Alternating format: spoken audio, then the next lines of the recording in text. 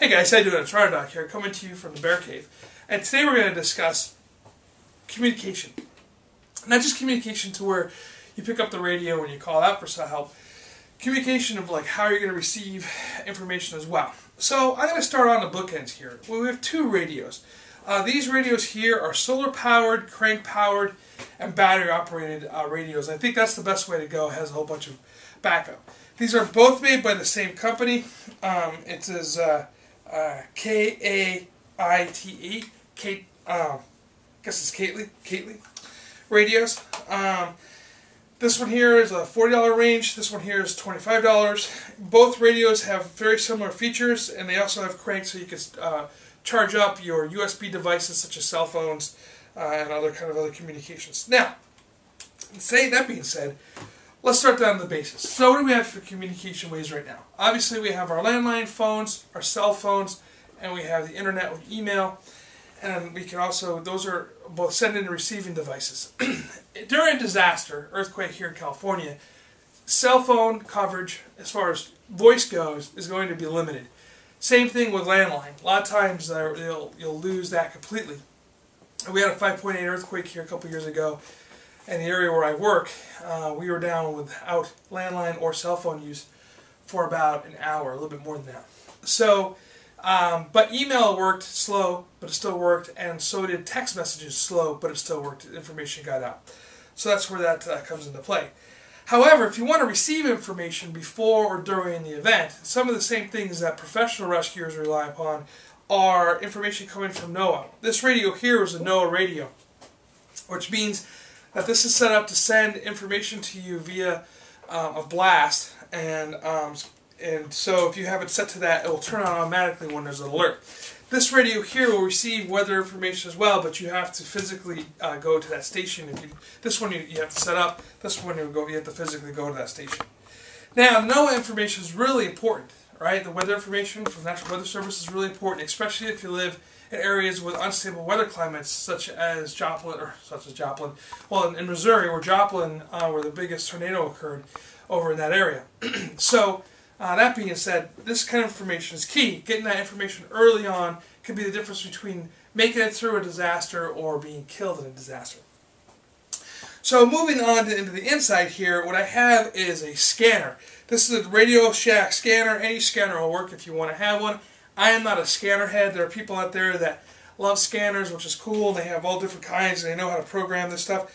A friend of mine programmed this for me uh, to where I can get ham radio operations on here, police that have non-encrypted police information on here, fire information on here, um, as well as the weather radio on here again. So this is a really, scanners are really kind of cool for that. It's pretty easy. There's a book that you can get where you can program it into it and, and save the information. He just happened to have the book, so that's why he programmed that for me. Moving on. Now these three devices here are all receivers, right? Which means that you can only uh, receive into them. Where this is a transceiver, this is a ham radio. The ham radio here, again, you need to have your FCC license. I've done a couple videos on ham if you want to check those out.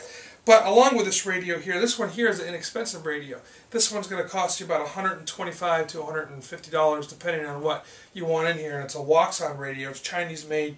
You know, um, I, I, got this, uh, uh, you know, just to test it out, to play with it. It works well for what it is.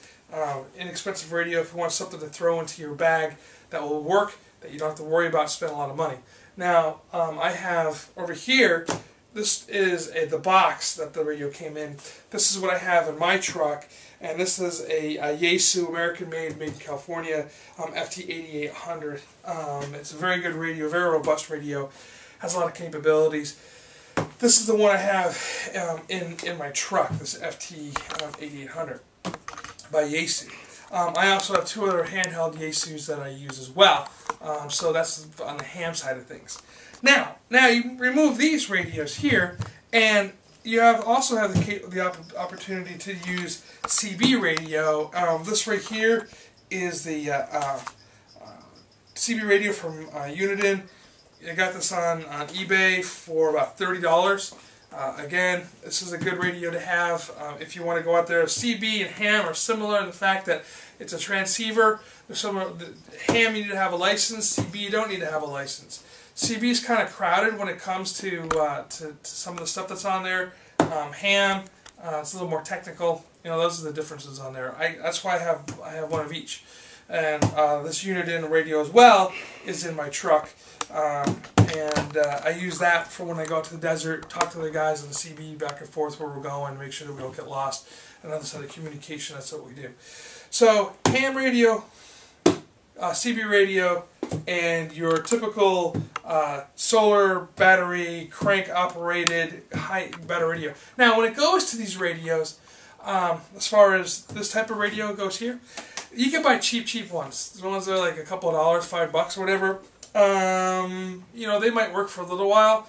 I would say let's go. I would say go a little bit more expensive. Forty dollars for this radio. You can use it for when you go camping or whatever. Uh, you know, the other day we had a power outage. It was really nice to have something to do when we put this on. Um, it was a planned power outage in my neighborhood where they were doing some work. I happened to be uh, home when they did it. Uh, my wife and I listened to the radio just to, to spend some time and you know listen to the radio and just have something going on in the house. So that type of thing. Um, that's why I think these radios are good to have. Um, this radio here goes into my pack. This radio here goes into my pack.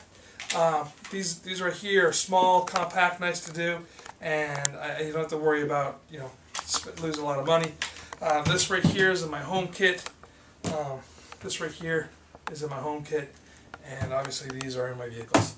So communications is really important because if you listen to anything that happens during any sort of disaster, what is the biggest complaint that um, all the responders have? Is communication. Communication is key to uh, surviving. Communication is key to recovery. So this is Rhino Doc, signing out.